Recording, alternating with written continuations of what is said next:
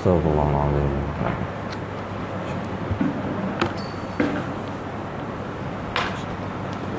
استغفر الله العظيم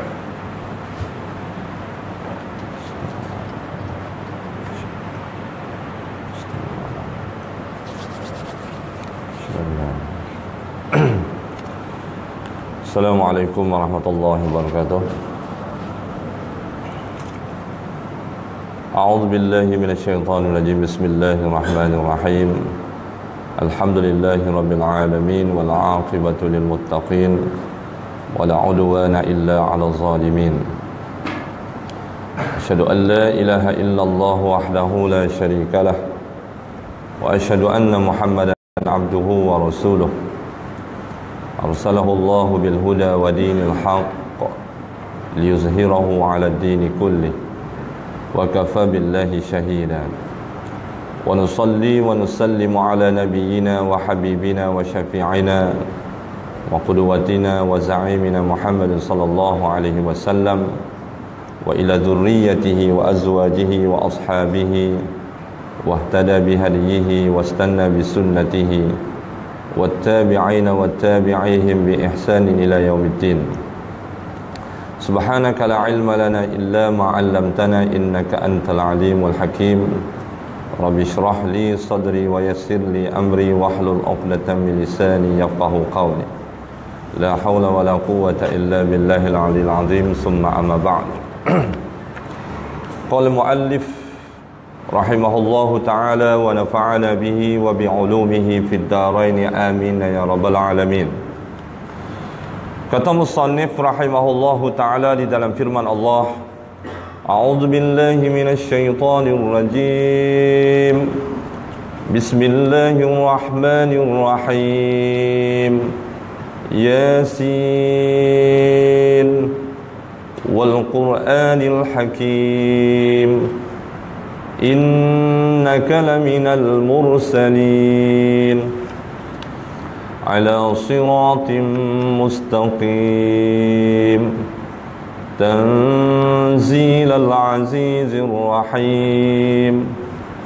لتنذر قوما ما أنذر آباؤهم فهم غافلون. صدق الله العظيم. Firman Allah Subhanahu wa taala yang bermaksud agar kamu memberi peringatan kepada kaum yang bapa-bapa mereka belum pernah diberi peringatan. Kerana itu mereka lalai. Risalah kenabian diwahyukan untuk mengingatkan agar waspada terhadap hal yang tidak kondusif bagi penyucian hati. Kata anzara yakni memberi peringatan dalam ayat ini merupakan bentuk kata kerja transitif dari nazara dari nazara yang asalnya bererti sumpah. Bersumpah bererti melakukan tindakan tegas untuk mencegah kejadian-kejadian yang tidak kondusif. Kata kaum dalam ayat ini diartikan sebagai satu kaum yang bererti sebuah atau sekelompok masyarakat yang dihubungkan oleh satu ikatan persamaan seperti bahasa peribadatan atau gaya hidup. Kemudian bangsa Arab sebelum Muhammad tidak memiliki seorang rasul dari kalangan mereka sendiri. Baik alhamdulillah syukur kita pada Allah Subhanahu wa taala pada pagi sekali lagi kita dapat bertemu dan berhimpun di rumah Allah Subhanahu wa taala ini sebagai tetamu tetamu Allah sebagai duyufur rahman mudah-mudahan insya-Allah kita akan sentiasa mendapat sebagai duyufur rahman ini mendapat rahmat daripada Allah Subhanahu wa taala dengan kehadiran kita ke rumah-rumah Allah Subhanahu wa taala insya-Allah. Baik tuan-tuan kita sambung pada pagi ini dalam tafsiran surah Yasin kita kita masuk ayat yang ke-6. Ha, memang kita baru masuk ayat yang ke-6. Memang kalau tengok ha, buku ni lah kitab ni pun dia hurai dia panjang ha, walaupun satu ayat. Hmm, so, jadi setiap bulan dia makna satu satu ayat. Ha, saya ikut hak buku ni lah kan. Cuma kadang-kadang tak mampu nak baca semua tu. Banyak eh. Baik, jadi insya-Allah tuan-tuan.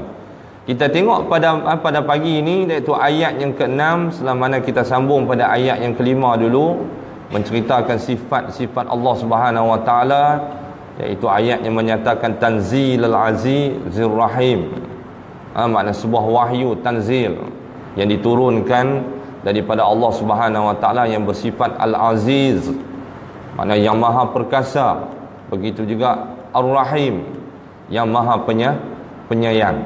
Ha, yang tu ayat yang menceritakan kepada kita tentang Al-Quran ini wahyu Allah datang bukan daripada manusia bahkan daripada pencipta maknu manusia iaitu Allah Subhanahu Wa Taala yang maha perkasa lagi maha penyayang. Baik jadi sambungan ayat yang ke-6 pada pagi ini kita tengok iaitu kata Allah firman Allah litundira qauman ma undira aba'uhum fahum ghafilun. Litunzira ha, jadi kalau saya baca hak di bawah huraian pen, pengarang kitab ni dia kata risalah kenabian diwahyukan untuk mengingatkan agar waspada terhadap hal yang tidak kondusif bagi penyucian hati sebab ayat ni tuan-tuan dia berkaitan lagi kita kata dengan ayat yang hak kedua dulu ayat yang ketiga. Innaka laminal mursalin. No? Innaka sesungguhnya engkau wahai Muhammad laminal mursalin salah seorang dari rasul-rasul yang diutuskan oleh Allah Subhanahu wa taala kepada maknu, manusia. Jadi bila Allah taala utuskan seorang rasul ataupun kita ada seorang nabi, kita ada sebut selalu kan. Bila utus tu Allah taala hantar sebagai utusan kita kata tentu Allah taala bagi bekal, ha? Allah taala bagi bagi bekal kita kata bekalan. Apa dia yang nak bagi kepada maknu manusia? Bukan mai kita kata lenggang macam tu ya. Ha lepas tu habaq aku dapat ilham. Ha oh, aku dapat ilmu laduni yang tu kok kita ha memang kita tak boleh terima kok jadi merapu pemohong kan? Ha. Jadi Allah Ta'ala hantar mai kita kata seorang Nabi dia bagi satu ilmu kita kata yang dinamakan sebagai wah, wahyu iaitu kitab-kitab dia. Dihantar mai Nabi Daud kita tengok diberikan kepada kitab Zabur kan? Begitu juga dengan Nabi Musa dihantar mai bagi mai kitab Taurat Nabi Isa hantar mai kepada manusia dia kita kata bagi kitab Injil. Dan Nabi kita pun begitu juga. Allah Ta'ala takkan hantar mai kita kata menggunakan akal. Kita kata nak cerita kat manusia tentang ketuhanan ha? semua boleh guna akal kita kata.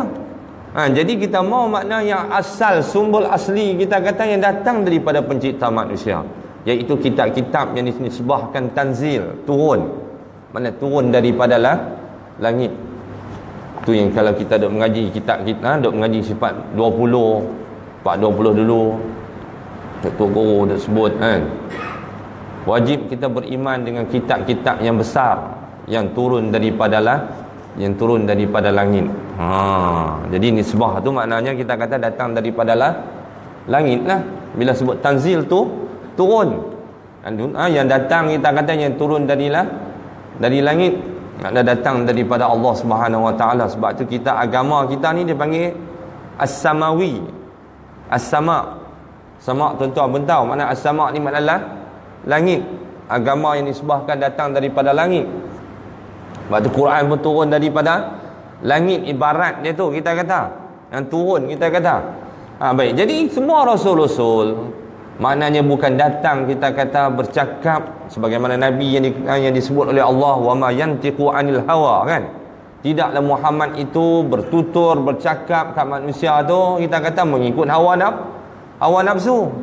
Ha, duk abang kau orang yang ni, abang orang yang ni, abang kena buat ini, buat ini, semua main daripada akan fikiran tak kata Allah yang aku hantar mai Nabi ni kalau khusus ayat tu kita tengok kat Nabi kita Muhammad Allah Ta'ala kata in, in huwa illa wahyu yuha. Melainkan yang hak bercakap tu seorang rasul tu macam Nabi kita Muhammad sallallahu alaihi wasallam adalah datang daripada wahyu Allah Subhanahu wa taala. Makna pencipta kita. Dia lagi hebat. Allamal insana ma lam ya'lam kan? Allamal insan. Siapa yang mengajak manusia yang tak ada ilmu tak tahu apa tak erti apa jahil? Tak tahu apa satu benda kita kata dilahirkan oleh seorang ibu seorang anak baby keluar ambil apa satu pun tak tahu. Siapa yang mengajak kita kata tak ada yang lain pencipta maknu manusia. Tu kita baca dalam iqra bismi rabbikal ladzi khalaq. Khalaqal insana min 'alaq.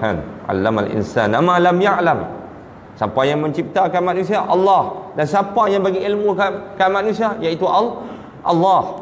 Jadi Allah hantar mai rasul-rasul. Tentu kita kata dia bagilah. Kita kata buku panduan. Yang kita namakan kitab Al-Qur Al-Quran supaya manusia jadi jadi kita kata ada pedoman, ada pandu panduan. Baik. Jadi yang katakan kitab tadi yang tanzil kita kata wahyu yang didatangkan Allah kepada rasul-rasul itu apa tujuan dia kita tengok? Tujuannya sebagaimana ayat yang kita baca di sini litunzira qauman. Supaya makna rasul-rasul ni memberi peringatan. Ha. Ha nak suruh beringat. Ataupun nak bagi amal amaran. No bagi amaran. Sebab itu kata musannif pengarang kitab kita ni dia kata Risalah kenabian diwahyukan untuk mengingatkan. Makna memberi peringat, peringatan. Memberi amaran agar waspada terhadap hal yang tidak kondusif. Hmm, semua bahasa-bahasa. Ha. Orang, orang kita kata mengaji, you know, kan? Bahasa-bahasa akademik, you know. InsyaAllah orang sini semua pakai universiti lah kan. Belajar ni kita kata kondusif tak kondusif. Ha. Makna yang tidak kondusif terhadap hal yang tidak yang tidak bersesuaian kan yang tak sesuai. Ha, ini yang di, dipakai oleh setengah orang lah ni yang kita dengar pun kita tak boleh belajar masa orang putih ni no. Dok kondusif kondusif apa dia ya no. Kan. Apa pula bercakap pensyarah-pensyarah universiti kita ni pensyarah kampung ya. Ha. Jadi kondisi ni tuan-tuan bisa dengar orang yang bercakap tentang makna bab-bab hukum Allah Ta'ala ni tak boleh dilaksanakan kan? Ha hukum-hukum yang ada dalam Quran ni hukum Allah Ta'ala ni tak boleh nak dilaksanakan khususnya di Malaysia ni sebab tak wujud lagi suasana kondusif. Oh yang tu yang pakai oh kan? Kondusif kita pun apa dia kondusif? Ngam cakap bila apa pun. Sebab kondusif kami tak faham kan Masuk kondusif tu makna kita kata kalau berkaitan dengan hukum Allah Ta'ala nak abang kata tak se tak sesuai. Ha. Kalau kata orang cakap dulu tentang RUU 355 kan? Ha. Nak memperkasakan hukum kita kata undang-undang syariah di Malaysia ni itu pun masih tak se tak sesuai. Tak kondusif. Bila nak kondusif tak pun nak tunggu mai banjir bang kan dia bagi satu Malaysia semua. Baru kondusif juga tahu. Lah. baru sesuai tak tahu lah kan. Bagi semua hanyut semua. Ha. Kita baru nak fikir kondu. Kondusif tak kondusif. Lepas kita kata kena bala lepas kata tak sesuai lah. Tak kondusif lagi juga sebab orang susah. Kan? Nak kena bangun pula manusia ni nak bagi senang dulu kan? Nak tunggu senang tuan-tuan. Nak tunggu kondusif nak tunggu sesuai ni kita kata dalam kita pejam mata macam tu. Kan? Hmm. Tu yang terkondusif saya nak sebut. Bahasa kondusif yang duk berbincangkan tentang bab hukum syariat Allah di Malaysia tu. Kondusif kondusif. Orang salah apa pula doktor pensyarah hebat. Bunyi-bunyi kondusif. Orang pun percaya. Tak sungguh kita bawa kondusif kondusif itu. Eh, jadi nak tunggu kita kata faham tuan-tuan ni lah. Hak tuan-tuan duk beli kereta duk beli rumah Mereka pun bagi India punya insurans kan bagi kita kata takaful kan India perjanjian cik eh? Cik baca. Kalau cik nak baca kita baca kita kata sampai bila? Kita tak boleh rumah apa kita tak faham itu ciknya banyak kan no? banyak nak baca. Beli kereta. Hmm, tak apa saya tanda tangan sudah. Dia pun pegang tangan kan. Buka tanda teh tu pak. Cik sign cik sign tadi. Hmm. okey buka sign. Dah habis-habis eh? Kalau tuan-tuan nak tunggu kondusif nak tunggu sesuai tuan-tuan faham pakai tuan-tuan tak beli kereta tak beli rumah tak beli rumah. Ha. tuan-tuan nak tunggu kondusif kita kata sesuai. Dia pasang AES merata tempat lah ni.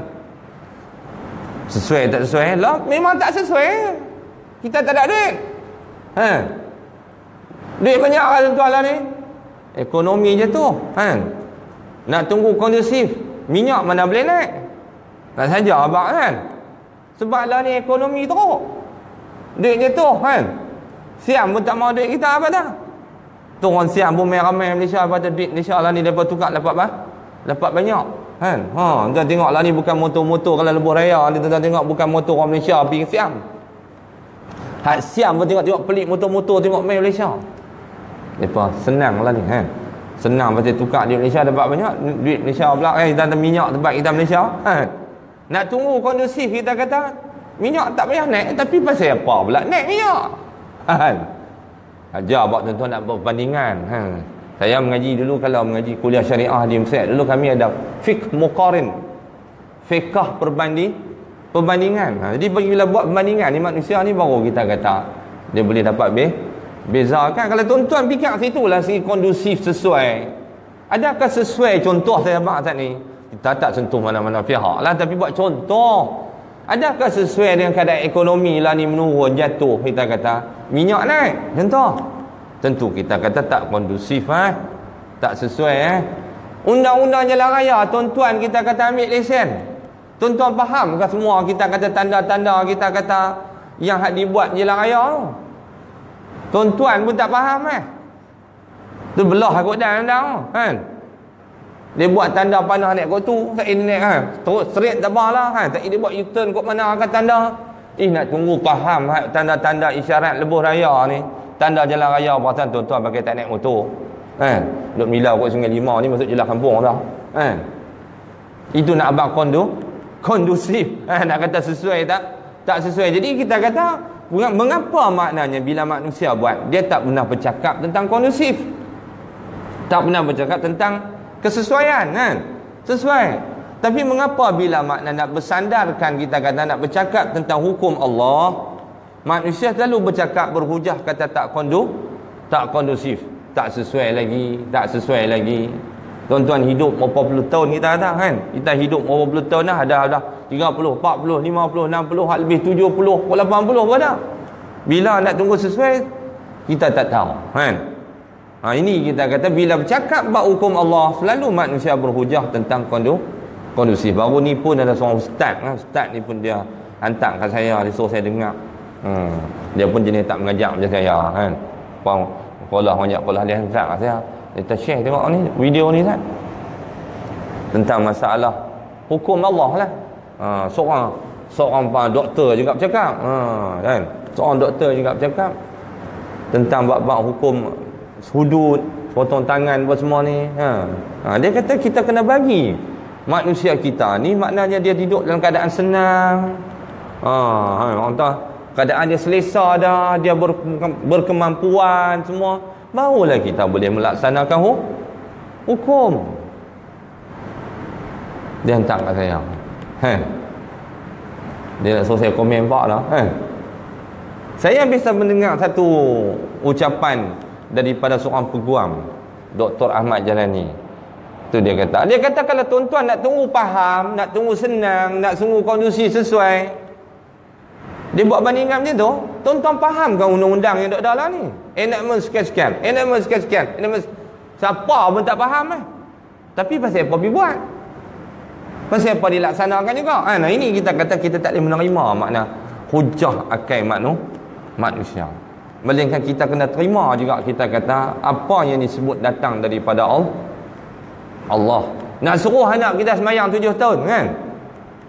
Sesuai ke kondusif ke? Cik kan? Kondusif ke anak kita kita nak suruh mana? Sesuai kesian budak-budak. Tidur pun maknanya tak tak cukup lagi kan? Kalau kita bercakap tentang kondusif kan nak tunggu sesuai. Hmm, pakai lelah. Map janggut apa? Baru nak suruh kerahking lah. Wala masa tu dia marah. Tak kan? Ha jadi ini kita kata saya nak sentuh tentang kita kata tadi kondusif. Ha kondu kondusif. Okey.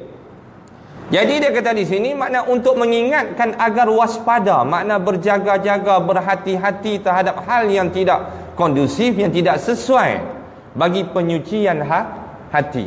Bagi nak sucikan hati kita ni dia kena ada suasana persekitaran yang se sesuai kalau kita kata ibarat kita kata semua orang tu dia pergi duduk buat kita kata satu perkampungan kan? Perkampungan dulu kita ada di sungai pencala lah. Perkampungan kot kita kata belah mana lagi kita kata kot mahang ke apa. Penduduk satu grup buat perkampungan. Pasal apa tu? Tujuan kadang-kadang kita kata nak bagi kondusif. Nak bagi sesuai kita kata nak membina nak menyucikan hati sesama manusia. Duduk kau ni pun rumah pondok macam ni kau ni rumah pondok macam ni kau ni rumah pondok. Macam sama aja. Jadi di situ tidak akan wujud. Kita kata penyakit-penyakit ha? hati nak tengok rumah kau ni lebih pada aku pun tak. Kau ni rumah dia pun tak ada TV ha? contoh hari dah duduk. Duduk dalam keadaan pondok hari dah pakat-pakat pagi makin subuh. Pergi semayang subuh jemaah. Sekali kau ada kuliah subuh pakat dengar kuliah subuh subuh. Balik makan kan jadi nak wujudkan suasana kita kata yang sesuai untuk nak cuci ha hati kan kita ni duduk dalam keadaan yang tidak kondus kondusif tak yang tidak sesuai. Hai jiran ni macam ni. Saya jiran ni macam ni kita kata kan jiran ni tu dia kan rumah kan jiran ni ni dia punya kereta. Jadi kita pun kadang-kadang main penyakit ha penyakit hati. Penyakit hati tu makna hati kita tak su tak suci lah kita. Ish hey nak kena cari kat sebiji. Ha ha ha. Kat main malak malak eh hmm. jadi kita pun main lah kita kata penyakit penyakit kita kata main kita kata penyakit kebenda kebendaan ha, jadi itu mina kata hati tak suci lah jadi kalau kita duduk dalam suasana kita kata persekitaran yang sesuai sama taraf orang duduk kita jadi kita tidak akan ada sifat nak berlomba nak cari habuan kebendaan yang melupakan kita dengan tanggungjawab terhadap Allah kan okey Baik, jadi tuan-tuan kita tengok. Dia kata kata anzara. Anzara memberi peringatan. Tang mana main anzara tu tuan-tuan? Tang litun zira tu. Litun zira. Ha. Litun zira. Lam tu. Hmm. Dan sebab dia sentuh kita kata perkataan. Saya pun habak juga. ha.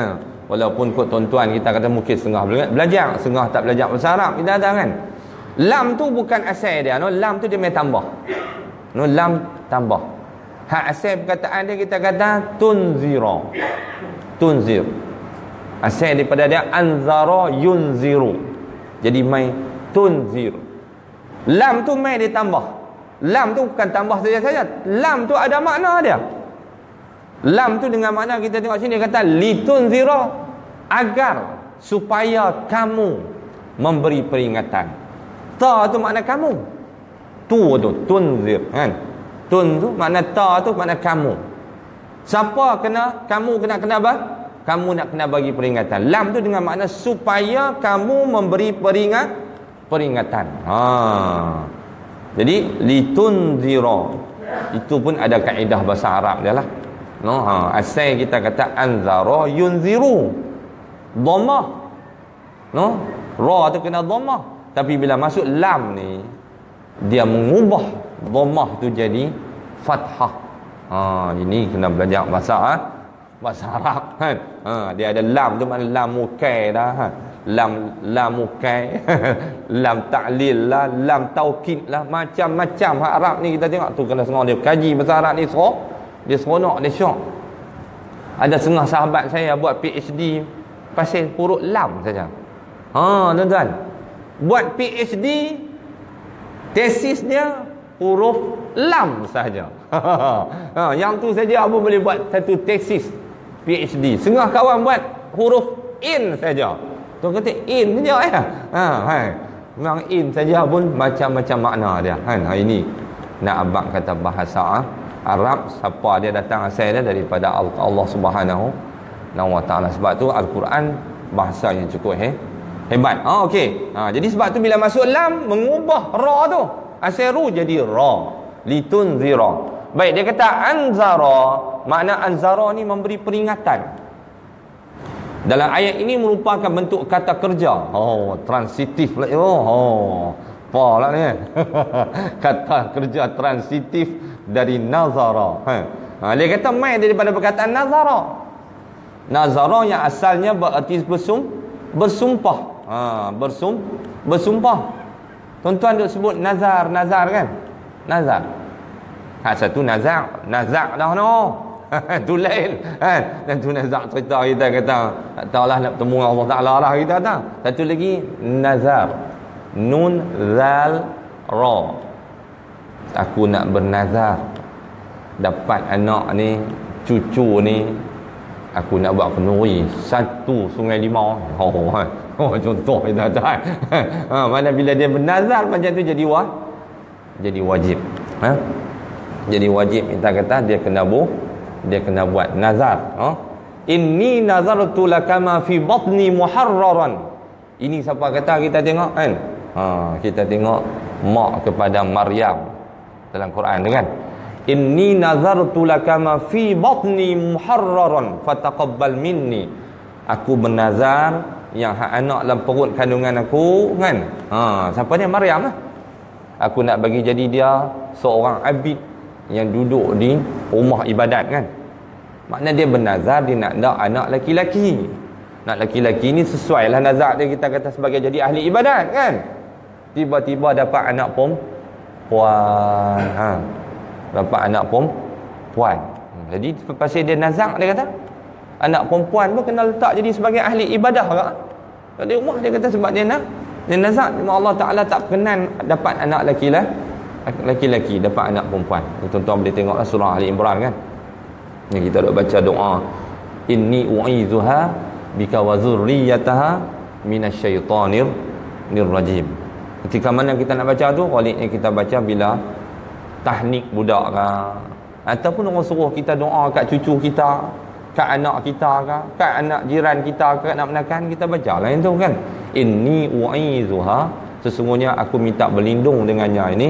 Minasyaitanir rajim kan? Itu di antara doa-doa tu lah. Ada dalam Quran itu cerita tu cerita pasal kelahiran Mar Maryam. Ha, anak Im anak Imran. Jadi mana ini nazar. Nazar di mana dengan mana nazar. Mana satu tuntutan kita kena bu kita kena buat ada ada yang sunat ada yang wajib jadi dia kata di sini ada dengan makna sumpah jadi bersumpah berarti melakukan tindakan tegas untuk mencegah kejadian-kejadian yang tidak kondusif. Bila kita bersumpah, mana kita akan buat satu-satu kerja dengan tegas dia kata. Dengan betul, dengan bersungguh-sungguh. Sungguh-sungguh. Ha. Sebab bila bersum bersumpah betul kan? Bila sampai bersumpah ni, tak tahu kok orang berani bersumpah pun dia dia pembohong.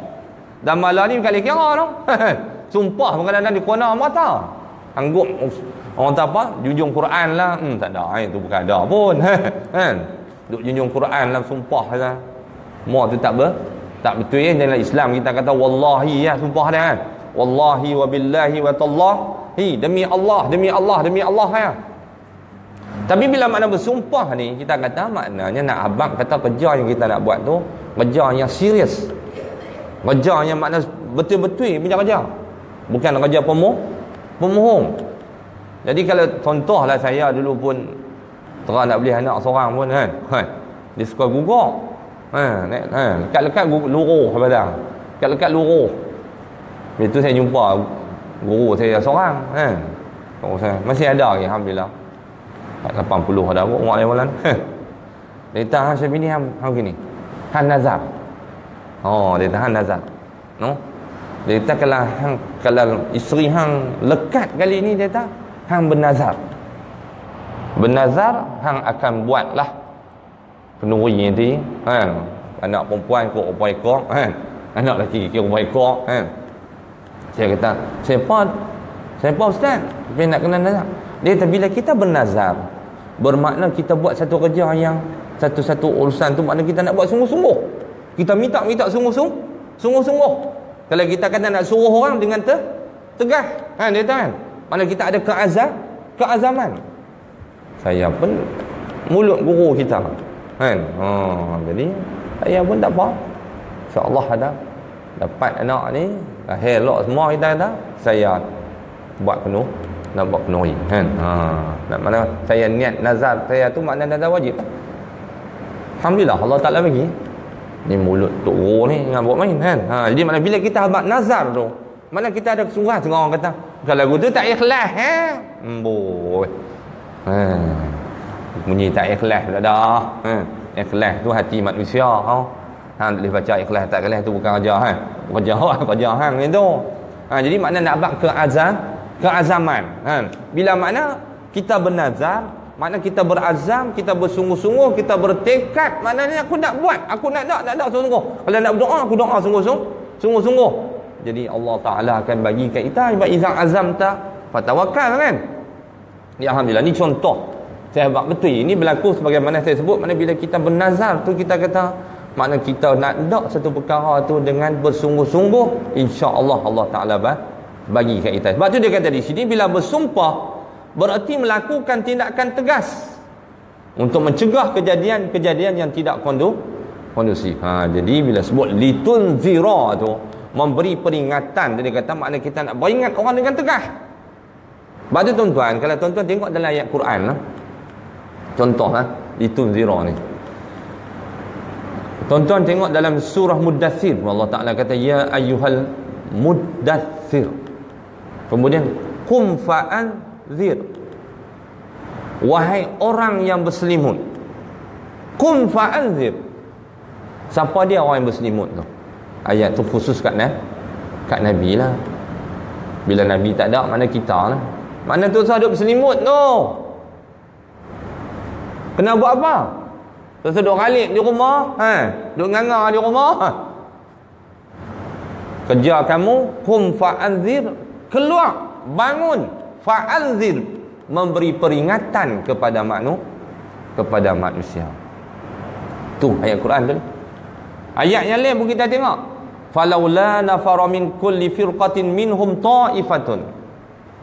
Sebelum ayat tu kata Allah wa ma kanal mu'minun liyunfiru kaffah falaula nafara min kulli firqatin minhum ta'ifatun liyatafaqahu fid din wa liyunziru qaumahum idza raja'u ilaihim. Apa maksud ayat tu tuan-tuan? Saya nak bak sama perkataan dalam Quran ni Allah Taala guna perkataan ni. Kata Allah falaula falaula nafara min kulli firqatin. Belum ayat tu saya sebut tadi wa ma kanal mu'minun liyanfiru kafah. Mengapa mana Allah Taala kata tidak ada satu golongan kalau kata ibarat sungai limau ni contohlah kan sungai limau bab sungai limau lah kan. Mengapa kata Allah daripada kalangan orang yang mukminun di yang yang berada di sungai limau ni kata Allah keluar. Keluar daripada sungai ni sungai limau kan.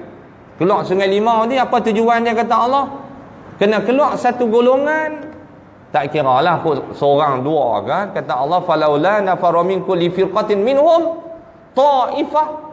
Kemudian tujuan apa kita tengok Allah Taala kata liyatafaqahu fid din mana setiap tempat kita ni ibarat kata sungai limau tempat saya aku pekan darat kata kata kena ada satu kelompok satu golongan ataupun beberapa orang individu kena keluar pi menuntut il, ilmu. Ini Allah Taala habaq dalam Quran dalam Quran. Taifah satu golongan.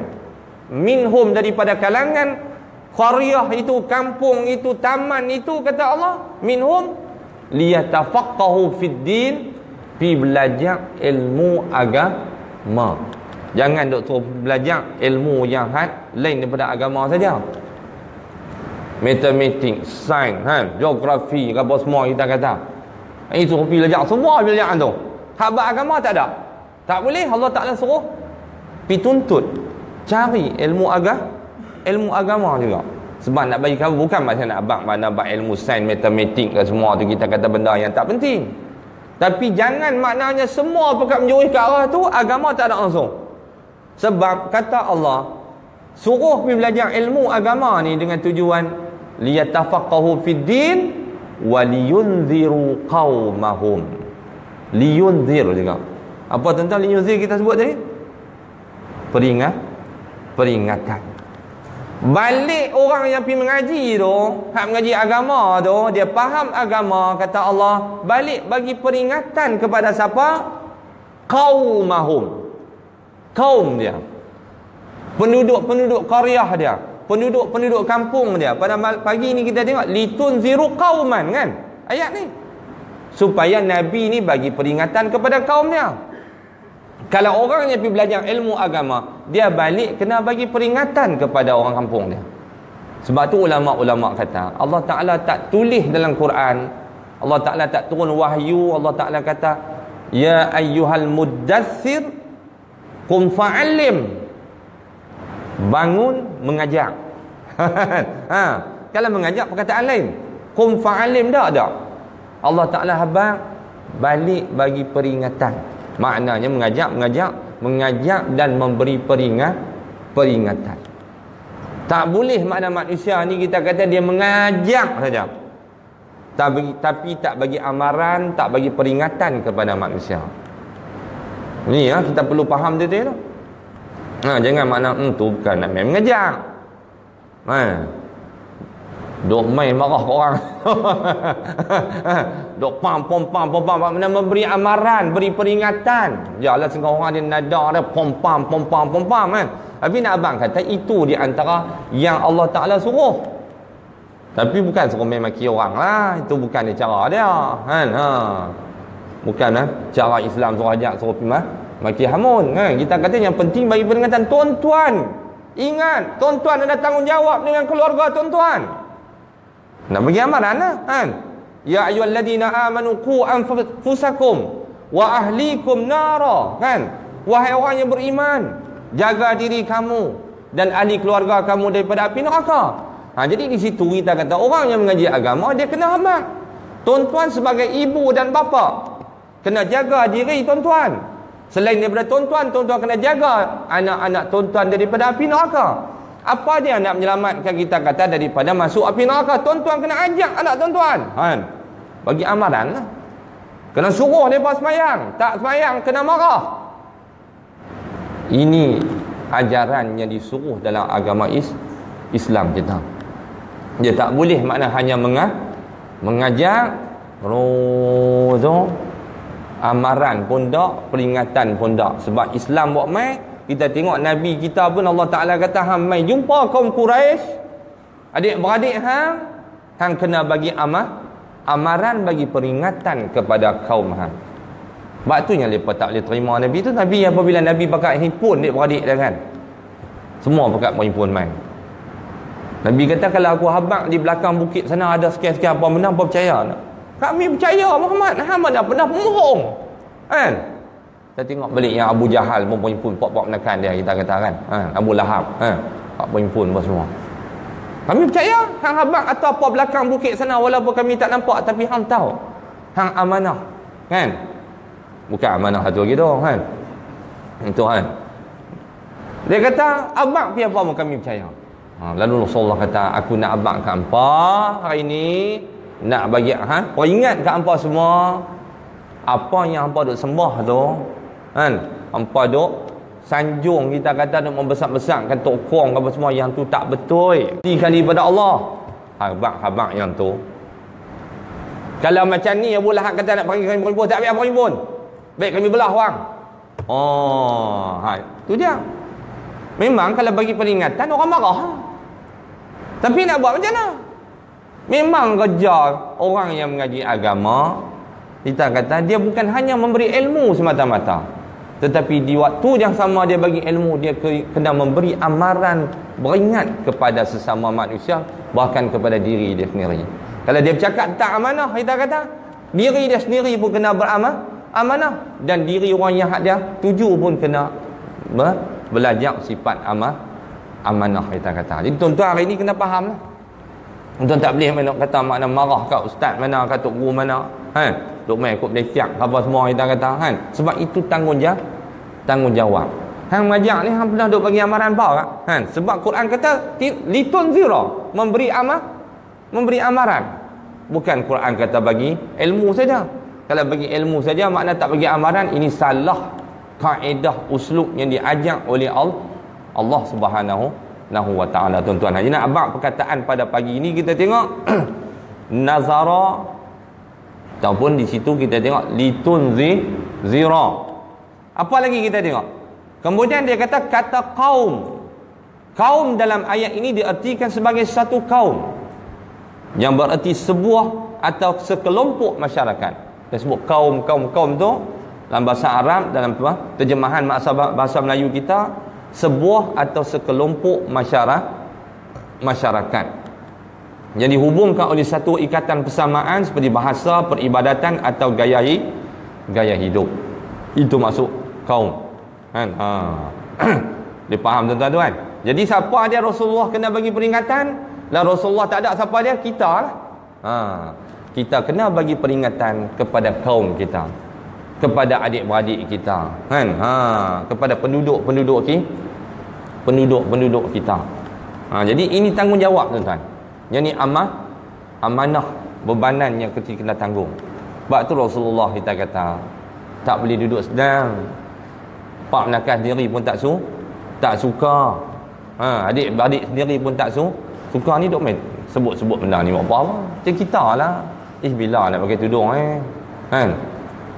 Bila lama kan? Eh, kan? Duk tengok tak pakai tudung ni duk nampak rambut ni ni. Cuba abang tengok. Marah kan? Buah bak duduk kan? Hmm, Tak boleh. Sensitif. Ha, Sensitif. Ha, Tapi sensitif tak sensitif? Kita dah tak sensitif kan kita kata? Tun zero. Kena bagi peri, peringatan. Sebab esok kita nak kena. Kalau kita kata kita sebagai bapa Esok kita lah kena balun dulu. Ha, ha. Esok dan dalam satu hadis Ada bapa Nak nak masuk syurga dah Tiba-tiba Allah Ta'ala katakan Kat malaikat tahan dia saya faham lah dah. No, ada bini dia anak dia sedang mendakwa. Pak aku tak pernah kata pak aku. Pak aku tak pernah bagi peringatan kat aku. Pak aku tak pernah bagi amaran kat aku. Aku tak semayang pun dia tak kata apa. Aku tak tutup aurat pun dia tak pernah kata apa. Tu kita kata kita nak kena balun dulu. Nak balun biasa-biasa tak apa. Kan? Ha tu kita kata warning tu. Litun zi zira. Memberi peringatan. Bukan habjak ah, no kenalah. No mengaji ni ayat Quran abang kena tutup aurat no. Kita doa abang gitu ya tak bagi amaran kita kata. Ambil dengan ayat.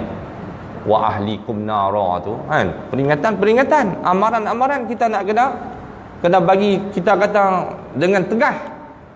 Supaya makna manusia ni tak takut kan? Manusia ni takut. Ni kita takut apa-apa yang berlaku. Kita kata di Malaysia kan negeri kita ke baik Kedah ke Pulau Pinang kita kata kita takut.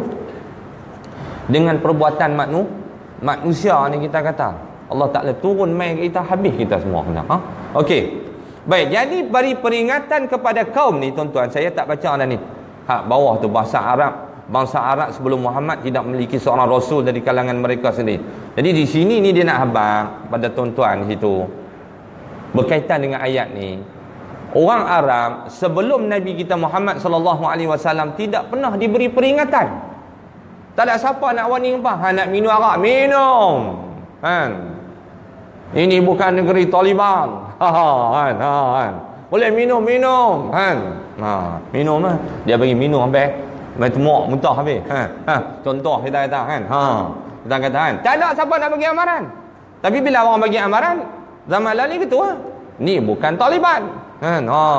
Ni bukan negeri Taliban. Duk larang-larang orang nak minum arak, orang nak minum arak, minum pi ya. Kan. Contoh lah saya kata. Kan. Sebab tu kena bagi warning. Orang suka ke, orang benci ke, orang meluat kan kita kata. Tanggungjawab kita kata orang yang faham agama ni walaupun tuan-tuan ni tak nama tok guru ustaz pun dapat 2 3 duit pun 2 3 hutang pun tuan-tuan kena bagi bagi tahu. Kena bagi peringat peringatan kita tengok. Jadi mana nak cerita ayat ni? Kata kat nabi tu supaya engkau memberi peringatan kepada kaum engkau ma'unzira aba'uhum. Apa maksud di situ? Kepada kaum yang bapa-bapa mereka belum pernah diberi peringatan. Sebab sebelum ni nabi-nabi datang dari kalangan kaum apa? Daripada Bani Israel kan? Pada Bani Israel Lepa yang duk terima peringatan lalu tapi lepa tak nak peringat pun. Lepa panggil macam lepa lah. Sebab tu akhir zaman, Nabi akhir zaman, Allah Ta'ala lantik Nabi Muhammad datang daripada bangsa bangsa Arab, jadi bangsa Arab tak pernah diberi peringatan. Mai Nabi lah ayat ni nak cerita. Baru nak bagi peringat, nak bagi warning kepada kaumku, Raish bangsa Arab, bangsa Arab. Siapa dia Allah Ta'ala kata nak kena bagi peringatan ni? Aba uhum. aba. Aba ni maksudnya bapak-bapak. Kalimah perkataan yang menunjukkan banyak ramai. Kalau bapak seorang Arab kata abun. Kan? Abun. Kita ada setengah orang dia tak pakai bahasa mak ayah abah. Abi. Oh lah ni banyak kita pakai gitu kan? Setengah tu abi bila bunyi abi tu tuan-tuan dia ada ya belakang. Mana bapakku ha setengah orang dia tak pakai abi dia kata abun bapak lah. Bila bunyi ummi ada ayat belakang mana makku kan? Ha makku boleh lah tak kira siapa pun kan? Ha, jadi ada ya. Ha, jadi abun ni satu bapa abani dua bapa dua bapa tak ada orang lah dua bapa kan? Tapi nak abang kalimah haram. Nak abang plural dia banyak kan? Jamak dia bapa abak oh sudah dia tu. Abak sebab nak bagi tahu bukan Nabi Muhammad nak bagi peringatan kat pak dia seorang. Tapi pak Nabi tak ada lah pak belakang ramai kan? Tapi nak bagi peringatan kepada semua bapa-bapa. Tak kira pak Melayu ke pak Cina ke pak Arab ke pak India ke pak bangsa apa pun semua kena bagi peringatan. Tu kita tengok bapa-bapa oh nak bagi peringatan budak apa kena kan yang nak bagi peringatan kat pak-pak mestilah aku makan garam dulu ha berapa hari kan ha aku lama dah ha Aku baca Quran berapa puluh kata khatam dah. Ha baru nak baca Quran ha nak payah aku. Oh. ha ni kita tengok perkataan tu Allah Taala guna.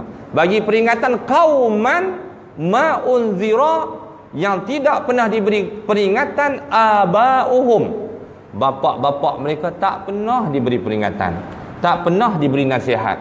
Tak pernah diberi amaran. No? Ini penting kita tengok. Tapi orang kata sensitif ha. Eh Nabi nak abang kat apa menakan. Oh. Abu Lahab. Semua tu ada penuh. Mak-mak menakan. Berani ya kita. Ha. Tapi berani tak berani. Allah Ta'ala bagi kekuatan kepada Nabi kita wasallam kita yang tak ada kekuatan kekuatan no? kita pun nak minta kekuatan kan ha kita nak minta kekuatan Nabi kita tengok tu dia kita kata Nabi seorang yang hebat dia berani menghadapi kita kata daripada anak menakan, pak menakan, adik-beradik, sepupu semua Abdullah bin Abbas kah kan? Pak menakan dia kita kata kan? Allah bin Abbas kot pak uh, sepupu dia. Abbas bin Abdul Muttalib. Pak menakan dia, semua dia kena bagi peringatan. Hampa suka tak suka? Sebab Allah Ta'ala turun ayat suruh aku bagi peringatan kepada hampa. Pasal apa kena bagi peringatan? Kerana ghafilun. Ghafil. Hmm. Di dalam tu pun ada no? Kaum yang tidak yang tidak diberi peringatan biasanya lalai lupa dan berada dalam keadaan bingung. Ghaflah. Ha, ghaflah jingga kan? Kan? Ghaflah ghaflah kan? Ha.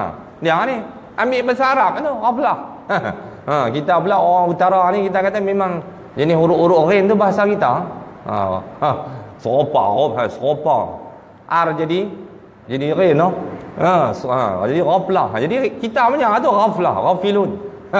jadi mana orang Penang ni kita kata orang utara Kedah utara kita kata memang kena ada bagi kena bagi peringatan dulu. Pasal banyak ghaflah kan. Ha, ha.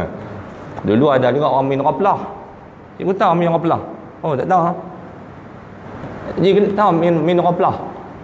Tak dengar min ghaflah. Saya pun kan. Kata apa lepas kata dok min ghaflah ghaflah kan. Dulu saya macam kecil lagi tempat yang dicerita kan. Mana awak jana dulu-dulu no, kan. Orang dulu kan dia kisah pun. Kedai kopi tempat saya no. Lepas tu tengok tu, punya punya gila main raplah. Nama mainan dia bermain raplah. Lama-lama kita pun pergi besar. Kita pun tak tengok benda tu. Saya pun nak buat nama. Ha. Raplah tu. Hal lepas dia susun nombor tu. Balak. Ha Nabi balak. Kalau kita kata dia buat empat segi tu, pak pak sak-sak lebih kurang ada nombor lima. Lima satu. Ha tak pegu ah. Pegu pegu pegu pegu. Ha pegu lima tempat tu. Ha Area saya dulu lepas panggil tu main raplah. Memang semua raplah semua. Dia duduk dalam kedai tu dah kerja kali main tu. Lepas itu bertaruh duit. Main duit. Ni ah, hak bahasa Arab ngoplah hai kita main kami budak main rok main balak rupanya main balak ada susun macam balak ada ada je orang tua-tua main main rok Apalah alhamdulillah lah tak ada lah benda-benda tu. Had judi tu memang dah leh lah kita kata kan. Ha, jadi nak bagi peringatan kepada manusia yang lah yang lalai. Jadi kita ni tak tak siapa lah kita kata ha? tak ada siapa yang tidak pernah lalai.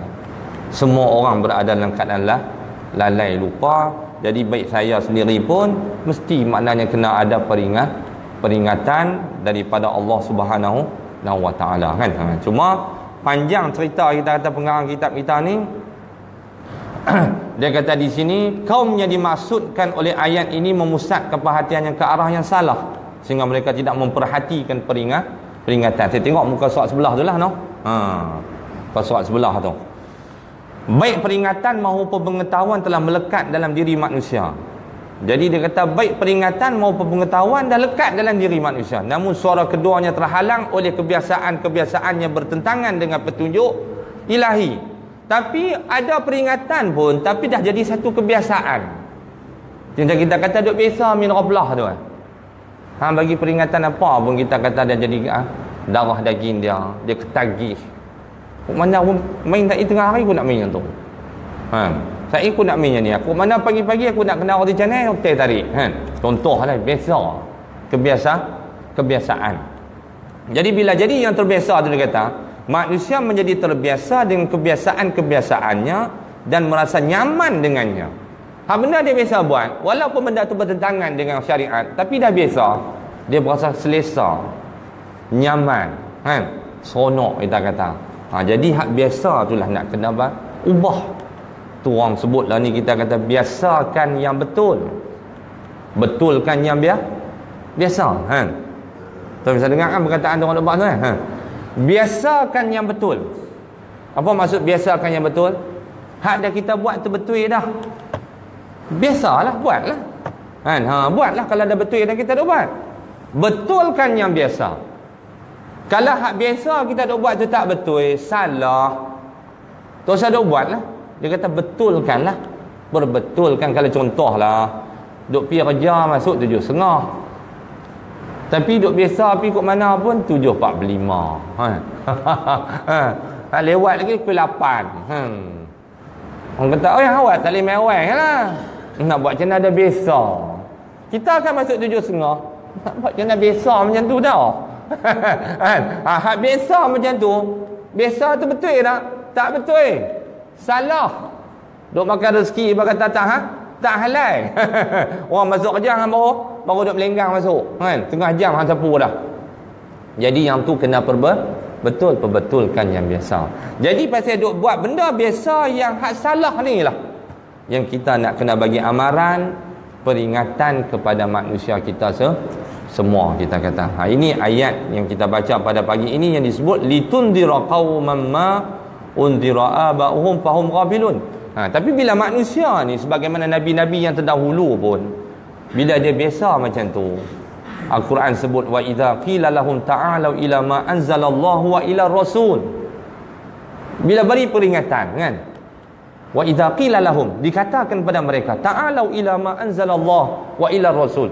Mailah kembali pada jalan Allah kepada jalan rasul kan? Hak apa dok buat tu tak betul.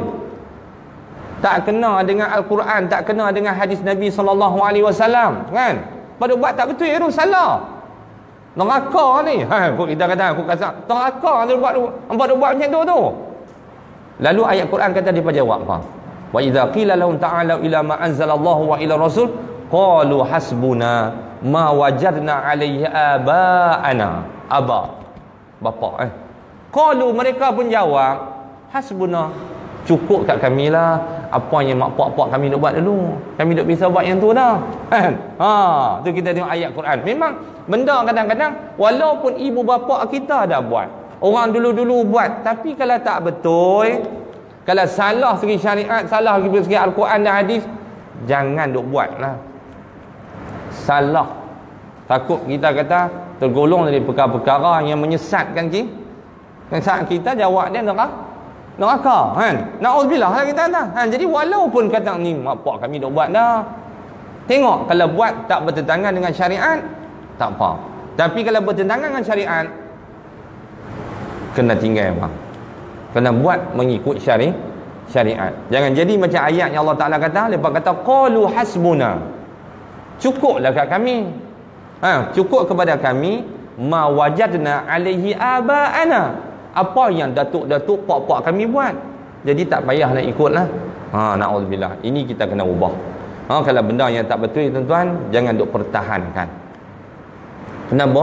Ada perubahan. Perubahan innallaha la yughayyiru ma biqaumin. Semuanya Allah Taala tak akan ubah nasib sesuatu kaum. No? Takkan ubah nasib satu kaum melainkan kita kena oh, ubah itu Allah Taala kata. Ha, nah jadi kalau benda yang tak betul itu bertentangan dengan syariat nah kita ada buat lah ni kita kata baik segi kita kata hukum hakam syariat yang ada kita kata di negara kita kalau tak betul itu kita kena mengubah.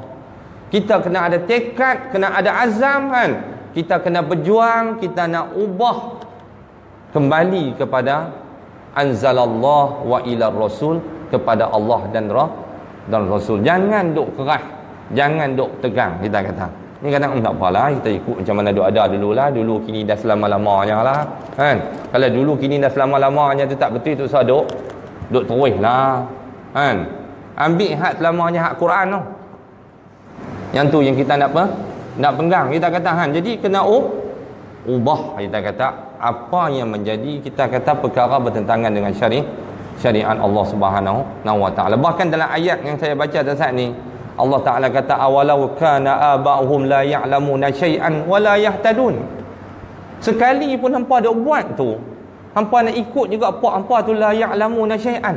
Lepas tak tahu apa. Tapi janganlah kita lebih kata penuh diplomasi lah dengan orang tua-tua ni kan ini kata pak kan tahu apa? Oh tak boleh lah macam tu. Hang besar lah ni tu. Aku tak tahu apa tu. Lebok kat tu lah. Kalau aku tak tahu apa macam aku lempak hang masuk mana tu? Kan? Kena cara elok lah kan? Kena mana penuh berhik berhikmah kita kata. Ha. jadi insyaAllah tuan-tuan. Jadi ayat 6 ni kita kata nak kena kat kita semua. Maksud saya tuan-tuan kan baik laki-laki maupun perempuan kita kata semua kita kena memberi amaran memberi peringatan sesama kita supaya makna manusia ni tak menjadi orang yang ghafilun orang yang ghaflah orang yang lah orang yang lalai no? insyaAllah mudah-mudahan Allah Ta'ala bagi peringatan kepada kita dalam ayat yang ke ke enam ni saya tak dapat nak baca lah banyak sangat ha, ha, cukup lah tu ha, insyaAllah kita akan sambung lagi ayat yang ketujuh nanti lah. Ha? Yang umur insyaAllah. Laqad haqqal qawlu ala aksarihim fahum la yu yu'minun. Wallahu alam bisawab insyaAllah.